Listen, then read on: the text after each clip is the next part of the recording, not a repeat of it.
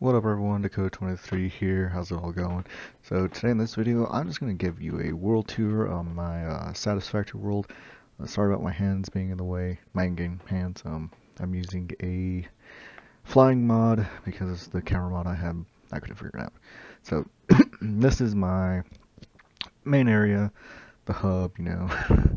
just you got everything spread out all over the place. Um, still got biofuel burners chilling even though I've got nuclear power going.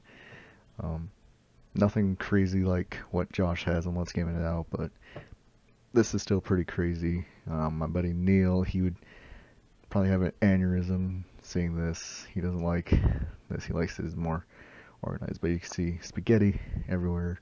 I've got conveyor belts just going from one side of my factory here to the other side just to create some just to create some stuff. Um, I'll show you how long these chains last to. And I've got a couple of uh, coal burners there too, so I'm pumping water like halfway across the map just to get those going.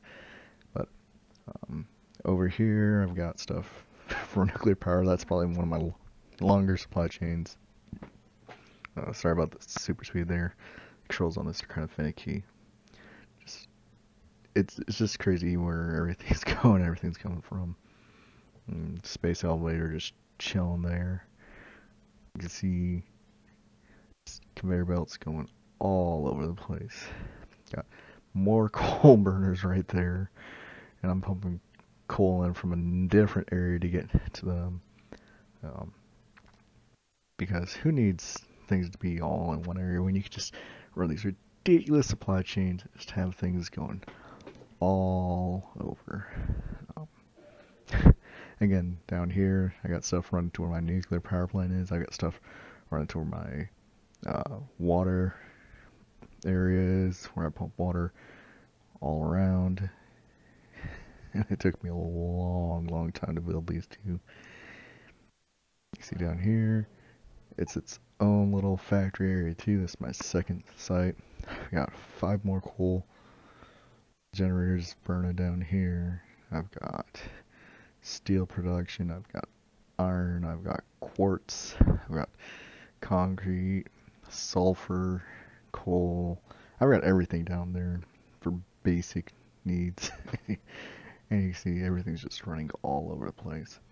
So as we follow these, um, the sulfuric acid line and these uh, encased steel lines, we're going to hit where my nuclear power plant is, and it's just, you know, just one of the longest supply chains I have in this game. And it's just crazy. This also took forever to build, and I actually just started uh, nuclear power uh, last week. You can see in the cave is where the uranium is. Everything gets processed in there, comes out into the power plant, and then all the waste goes into all those containers here.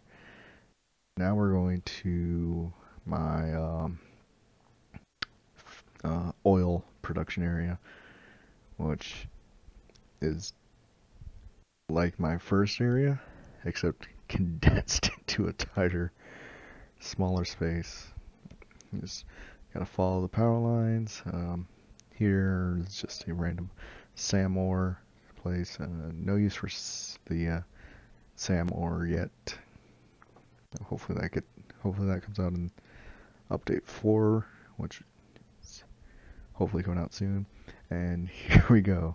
You see here again, I've got all your basics, and then some. So I got uh, plastic, rubber, silicone, uh, the aluminum, all just compact in this nice tiny area. And then I've got six more coal generators here as well. And then we come over here where I've got four fuel generators running.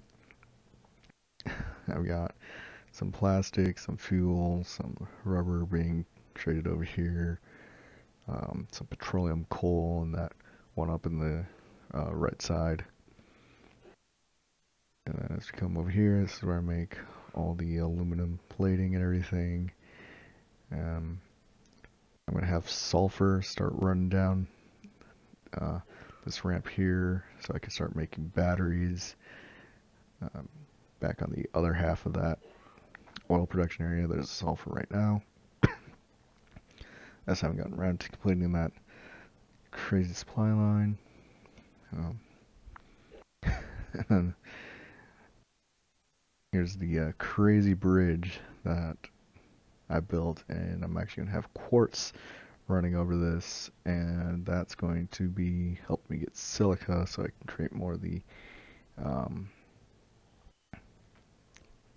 more of the uh, panels so I can upgrade everything to the uh, Mark V conveyor belts and that's going to take me a that's going to take me a good minute to do but it's all going to be worth it and then I'm still going to have some uh, smaller projects as well to work on I might do some I might just copy the save file and do a challenge project since I have everything already unlocked and everything.